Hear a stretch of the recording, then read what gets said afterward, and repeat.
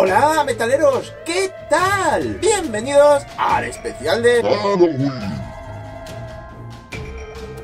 Y este año hemos querido hacer algo diferente. Una amiga que tenemos que lleva muchos años viviendo en Japón nos dio esta idea el año pasado, pero no nos dio tiempo y este año nos ha parecido una idea bastante aterradora. Ya sabéis que el folclore de todo el mundo está lleno de criaturas misteriosas y oscuras. Y en esta ocasión hemos querido adentrarnos dentro del folclore japonés, ya que a nuestro parecer es bastante siniestro y desconcertante. ¿Tú qué crees? ¿Te atreves a cruzar mundo?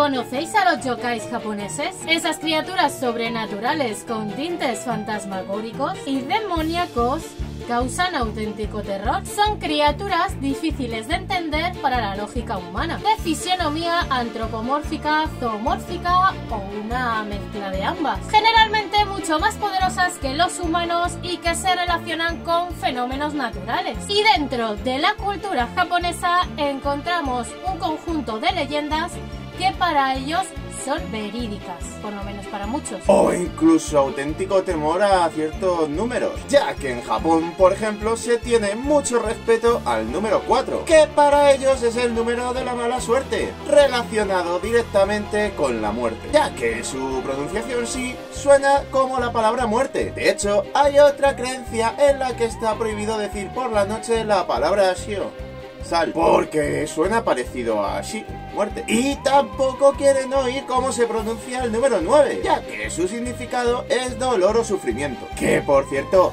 en muchos hospitales y edificios omiten la planta 4 y la planta 9 por esta razón. Pero el tema de los números no termina ahí, ya que en las habitaciones de los hospitales, por ejemplo, evitan que esté el número 42, ya que es de mal augurio, pudiendo ser su significado la expresión prepararse para morir. Y en los casos relacionados con la maternidad también omiten el número 43, ya que suena igual a parto muerto.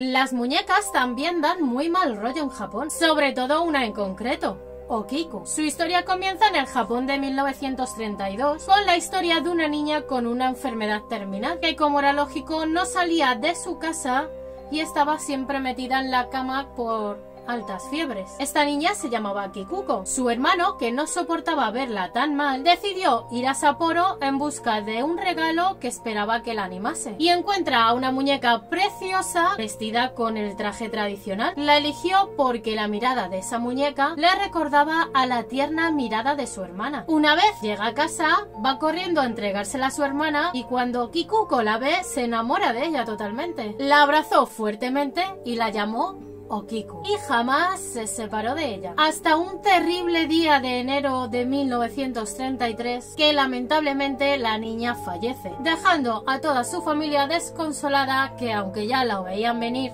porque estaba muy enferma, obviamente no se hacían a la idea de perder a la pequeña. La niña fue incinerada y sus padres guardaron sus cenizas en una urna de cristal y las pusieron en un altar junto a la muñeca para no separarla de ella y estar juntas eternamente. Se dice que los padres pensaron que el alma de su hija se había metido dentro de la muñeca, ya que su mirada le recordaba aún más a la de su hija. Además, lo que se suele decir es que las muñecas son una especie de recipiente vacío que de vez en cuando guardan el alma de algún fallecido. Y posiblemente los padres de Kikuko provocaron esto con las ganas que tenían de tener el recuerdo de su hija tan presente. De hecho, los padres asumieron que el alma de su hija estaba dentro de la muñeca y esta recibía cuidados diarios. Le cepillaban el pelo, se lo cortaban cada mes, como si fuera un ritual. Hasta que la Segunda Guerra Mundial llegó a Japón y sus padres tuvieron que dejar a Okiku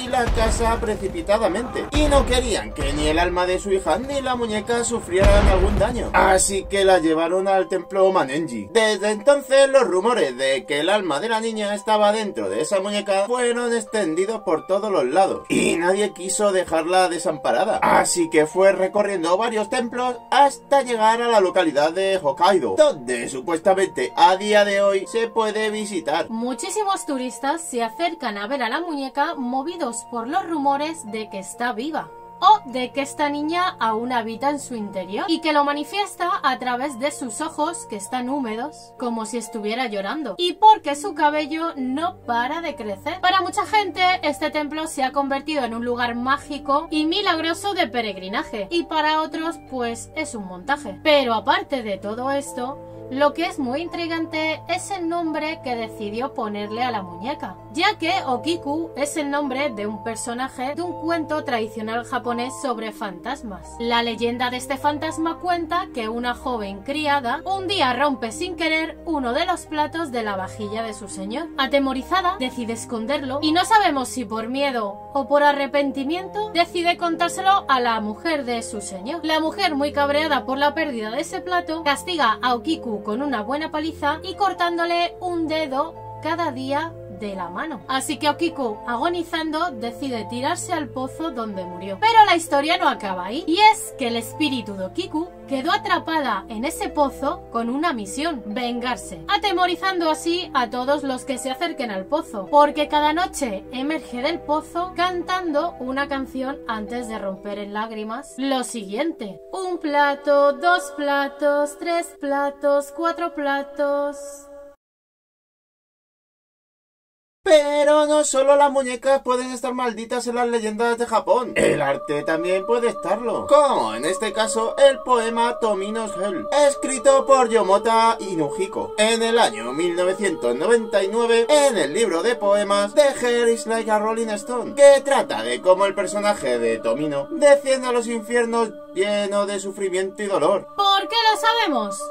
Pues porque este poema no es nada difícil de conseguir, incluso traducido al español. Así que si tenéis interés en leerlo, os lo dejaremos por aquí en la descripción. Pero cuidado, porque ya dijimos que este poema estaba maldito. No nos hacemos responsables. Y el mismo autor avisa de esto en el libro. No podrás recitar en alto dicho poema, o te pasarán cosas muy malas. Muy, pero que muy malas. Podrías tener algún tipo de accidente grave o en la mayoría de los casos, aquellos que se atrevieran a desafiar al poema o al autor morirán. La leyenda del poema se perdió durante muchos años, hasta que un día un reconocido locutor de radio que se dedicaba a los fenómenos paranormales, en un acto de osadía, decidió recitarlo para todos los oyentes. Y pensando que no causaría efecto, solo lo leyó hasta la mitad. Pues muy bien, ya te digo yo que este la próxima vez hace más caso a las advertencias porque después de leer el poema tuvo un accidente, incluso necesitó puntos de sutura, porque la maldición no le mató. Tal vez fue una advertencia por leer solo un cachito. ¿Y tú?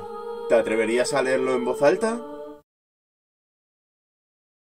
Escuchar el nombre de Joneona transmite verdadero terror. Y es que para empezar su nombre se traduce como mujer esqueleto o mujer de hueso. La leyenda de este yokai comienza con una mujer llamada Tsuyu. Era una mujer muy hermosa que trabajaba como geisha, una gran artista tradicional japonesa. Pero su marido arrastraba muchas deudas y un día para saldarlas vendió a su mujer a un burdel. Los rumores de la belleza de Tsuyu se extendieron rápido. Estaba cotizada y esta, pues ya desesperada, intentó huir varias veces. Pero la última vez que lo intentó una compañera la delató. Y uno de los hombres del burdel la mató y tiró su cadáver al río. Así que desde entonces, cada noche Honeona sale del río para pasearse por las calles solitarias y engatusar con su apariencia a todos los hombres que caminan por la zona de los burdeles, engañándolos sin ellos saber que es un fantasma. Se acuesta con ellos de forma que les va robando el alma y la energía vital hasta matarlos. Mucha gente cuenta que ha visto a varios conocidos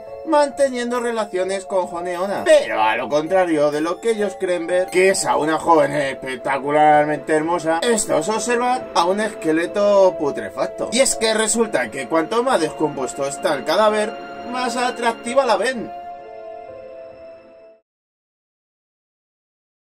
Cuenta la leyenda que una vez en Japón existió una mujer tan hermosa que todos los hombres estaban intentando seducirla para que se casara con ellos y que finalmente se rindió a los encantos de un samurái. Y a pesar de estar casada, las propuestas no cesaron, pero ella era fiel y las rechazaba todas. Pero su marido se marchó a la guerra, pasaron muchos años y ella se empezó a sentir sola. Así como antes rechazaba todas las propuestas, pues empezó a aceptarlas. Cuando terminó la batalla, el samurái pues volvió a su casa, pero no sin antes celebrarlo con sus compañeros. Aquella noche, entre copas, uno de sus compañeros habló de una mujer que era muy bella y que solo aceptaba a los hombres más guapos, más apuestos, más adinerados y poderosos. Así que el samurái decidió probar suerte con esa misteriosa mujer. Sin embargo, cuando llegó a la mansión de esta, descubrió que era su casa y encima la pilló con otro hombre. Así que furioso, atravesó al amante con su katana y a ella la cogió del cuello y la rajó la boca de extremo a extremo mientras la decía. A ver si ahora les pareces hermosa. ¡Ay, pájaro! Si tú también ibas a poner los tochetes antes de saber que era tu mujer. ¿Y qué pasó? Pues que la mujer no aguantó su rostro desfigurado y se suicidó. Y se dice y se comenta que puedes encontrarte con el fantasma de Kuchisake con el rostro cubierto por una mascarilla y que te preguntará, ¿soy bella? Y ojito con lo que respondes, porque si respondes que no, Kuchisake por la ofensa te rajará la cara hasta matarte. Y ojo que si contestas que sí, es peor, que se quita la mascarilla y te dice que todavía que sea más guapa. Y ahora, si vuelves a contestar que no o gritas, el desenlace es el mismo. Te mata. Y De manera que, según la leyenda, la única forma de salvarse es responder que sí con total naturalidad a las dos preguntas. Vamos, con o sin mascarilla. O decir directamente a la primera pregunta que tienes prisa por un asunto importante. A lo cual Kuchisake se disculpará y te dejará pasar haciendo gala de su buena educación. Y ya está. Esperamos que hayáis disfrutado de estas historias y leyendas japonesas. Si queréis más podéis pedírnoslas en los comentarios. Por aquí. Además también nos podéis decir qué os ha parecido el vídeo o escribirnos lo que queráis que queremos contestaros a todos y hablar Sí. con vosotros. Mucho. Y la retaila de siempre. Si te ha gustado este vídeo, déjate un like así de gordo y suscríbete. Dale a la campanita activando todas las notificaciones. Todas. Y os deseamos un feliz Halloween o Samhain o como lo quieras llamar. Ahora sí, nos vemos.